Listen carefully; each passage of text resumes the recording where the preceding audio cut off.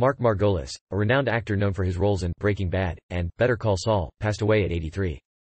He died at Mount Sinai Hospital in New York City following a brief illness. Mark received an Emmy nomination in 2012 for his portrayal of Hector Tio Salamanca in Breaking Bad. He reprised the character in the prequel series, Better Call Saul, where he depicted a younger version of Tio before he was in a wheelchair. Despite having more than 100 film and television credits to his name, Mark found the lasting impact of his performance as Tio surprising.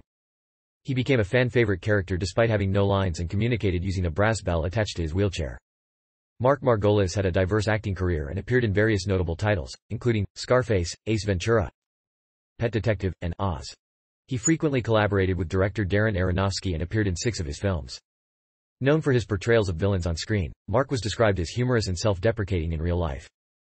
Despite his success and recognition, he maintained a down-to-earth attitude. Mark Margolis is survived by his wife, Jacqueline, his son, actor and Knitting Factory Entertainment CEO Morgan Margolis, and several grandchildren.